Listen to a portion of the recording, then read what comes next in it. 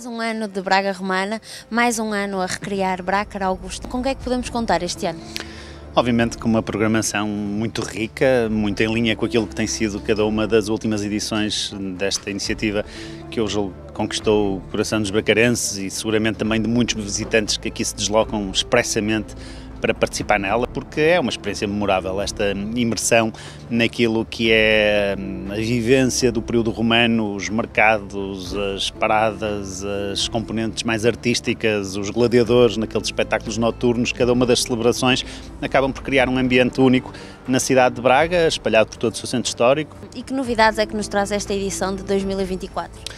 Eu diria que a principal novidade vai sendo variável de, de ano para ano. É este ano é um tributo à deusa Nábia, que estará presente também ligada à água na, desde logo na, na, cerimónia de abertura, com, com o público mais infantil, na, na manhã de quarta-feira, amanhã, uhum. uh, mas depois, obviamente, com uma programação muito eclética. Eu acho que nesta edição, até porque celebramos o 20 aniversário da Braga Romana, uh, reforçamos uma das componentes que eu sempre enfatizei, que era das mais importantes desta iniciativa, que é a questão pedagógica, que é a questão da visitação, e portanto temos várias conferências, temos várias iniciativas de promoção de visitas, no caso do Teatro Romano, que vai contar também com atuações da Companhia de Teatro nesse mesmo espaço e no fundo é um abrir o apetite para aquilo que é hoje o presente e o futuro da, da, da cidade romana no, no, coração da cidade de Braga. A Braga romana também acaba por ser o sucesso que é por esse envolvimento de muitas, muitas instituições. Não são só os agentes culturais, são muitas instituições sociais, são muitos agrupamentos de escolas, são obviamente as instituições principais da cidade, os espaços museológicos,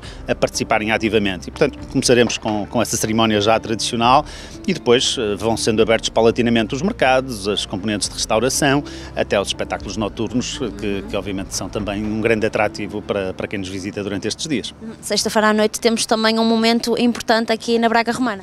Sim, é o cortejo triunfal, acaba por ter um simbolismo também especial, são mais de 800 figurantes, é uma parada também ela monumental, em sentido também eh, até pelo, pelo impacto, pelos figurantes que, que nela participam, teremos novamente a presença dos nossos vizinhos de Terras de Boro, mas também delegações do lado, do lado da fronteira, da Galiza, que também já são habituais, e eu julgo que é, é também uma manifestação pela sua singularidade, por aquilo que é o envolvimento e o compromisso que todos trazem. Nós vemos mais uma vez também nessa iniciativa muitas escolas, muitas instituições sociais a trazerem os seus utentes, os seus alunos, os professores eh, para participar e isso acaba por ser também um envolvente muito, muito especial para essa iniciativa. Uhum. Portanto, 20 edições, será mais uma de sucesso?